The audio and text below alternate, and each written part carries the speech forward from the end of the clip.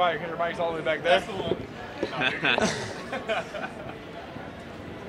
So- Well, talk about this matchup, man. I mean, I think the fans, as soon as this was announced, I think fans got really excited. Is this one that you're excited for? Uh, fans are excited anytime I fight, so it doesn't really matter who I'm fighting.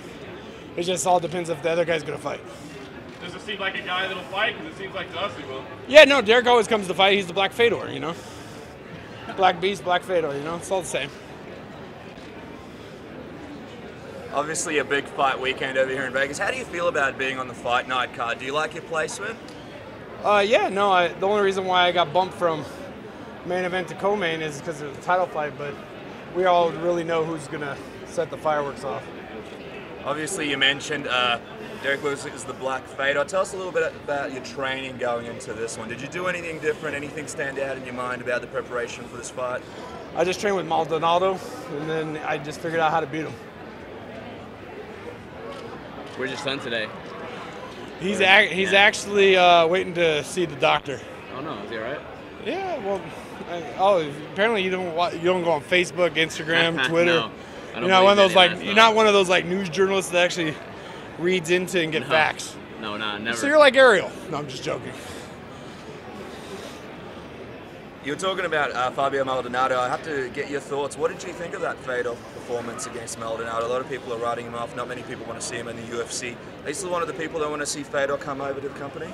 Yeah, no. If, uh, I think Fedor could be uh, whoever gets him the first time. Um, instead of being red panty night, it'll be black panty night. You know.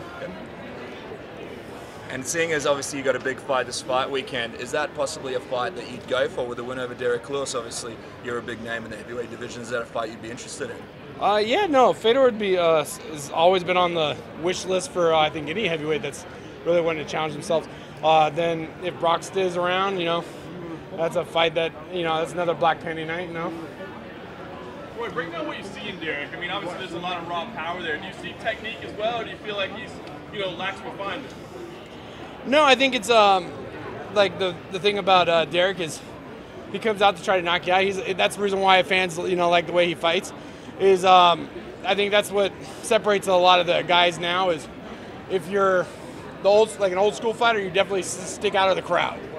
Uh, it's like the zebra, you know, with the rest of the horses. You know, you definitely, uh, and that's why he stands out. Is because he's not trying to. He's always trying to finish a fight, and that's the one thing you got to respect as a fighter. Is anybody that tries to respe- uh, finishes the fight. That's as a fight fan, that's who I'm trying to watch fight. Do you feel like that mindset is starting to fade a little bit? I'm sorry, what? Do you feel like that mindset is starting to fade a little bit? Because you say these old school fighters you stick out. Uh, it, yeah, it's definitely fa- fading, but uh, the ones that actually still fight that way, they always stick out. And and that's the reason why, if you see a decline in MMA, it's because of they're not old school fighters. Well, so when you see a guy like that, I mean, it would seem like he has a weakness to be his ground game a little bit. You obviously are skilled there, but I know how much you like to brawl as well. So, how do you break it down? Is it a thing where you want to go toe to toe and kind of put on a show and prove manhood, or you feel like there's strategy to it? I no, I think uh, I mean my last fight showed that there was a lot of strategy.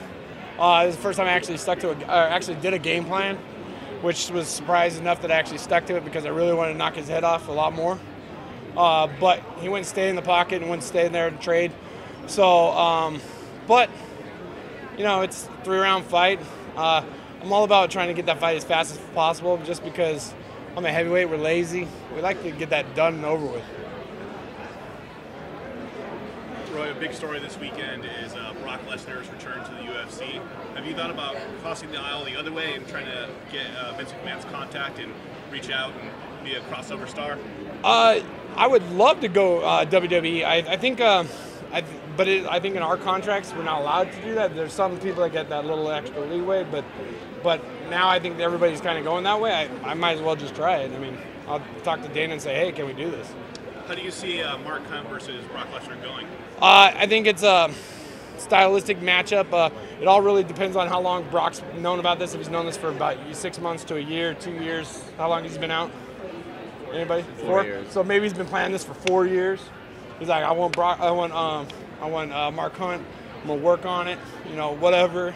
Uh, but it's it's uh, stylistically, I think if Mark uh, puts his hands on him, I think it's the fight's gonna be over. But if Brock gets that, you know, big powered, you know, takedown and then You got a 265 pound, probably a 275 pound man that cuts. Uh, it's it's a butt and a half to try to get up. You fought pretty much everyone at heavyweight at this point. With a guy like Derrick Lewis, he's one of the younger heavyweights. Uh, do you see this as a thing you want to do in the future, just fighting uh, up and comers, or you know, do you have plans for you know the remaining fights you have uh, in the UFC for yourself? Uh, my my plan is to fight for the belt. Like that, there's no ifs and or buts, but I'm all about Black Panty Night. So whatever that whatever that is, I I'm all about that one. Who do you think wins that title fight between Alistair and Stipe? Oh, it, you got two different because you got Alistair. Alistair's not his old old self. He's a, he's an athlete now. So, um, and Stipe's an athlete. They're, they're not that they're not that old school fighter where they're trying to you know really trying to knock you out. They're trying to play that little, you know, and then all of a sudden you might see something you know happen. So you got to watch just because it's heavyweights because you know there's that one punch. Uh, but I probably give it to Stipe because I think Stipe is just a better athlete. A guy you would rather rematch over Alistair? No, I'd rather a re- rematch over Alistair over Stipe. Because uh, just because uh, name recognition, that's more Black Panty Night than Stipe. If things go well for you this week, how far away realistically do you think you are from that title? Um, it's the UFC. I could be like good for like three fights ago, two fights ago. I could be good for this next fight. They uh, say you know tomorrow they pull out. Um, I could be fighting Jon Jones, and I just might be I, I might be a little overweight for the fight, but I could fight for Jon you know against Jon Jones. You know, you never know. Thank you guys. Last question. Last question. Anyone? Anyone? All right. It's your chance. It's your chance. No. Roy, could you just uh, any memories you had uh, after the fight with Kimbo Slice? Did you guys have a good bond in the house afterwards? Yeah, no, the I, I think the where uh, I think Ultimate Fighter how the Ultimate Fighter season of ours, where they really could have changed the, you know the whole season up, where everybody would be like, dude, I gotta watch Ultimate Fighter. Was uh, Kimbo was actually my roommate. We stayed in the same room together, and that's where we actually became really good friends, and that's where we actually had a, a friendship after that. Right, mate, we've got to go. Sorry, they've told me we've got to wrap it up. Sorry, fellas, we've got, got to Sorry, get them guys, you guys are all assholes. Sorry. Sorry, Roy. Thanks, Cheers, Roy. guys. Thank you, Roy. Thank you, fellas. Sorry about that.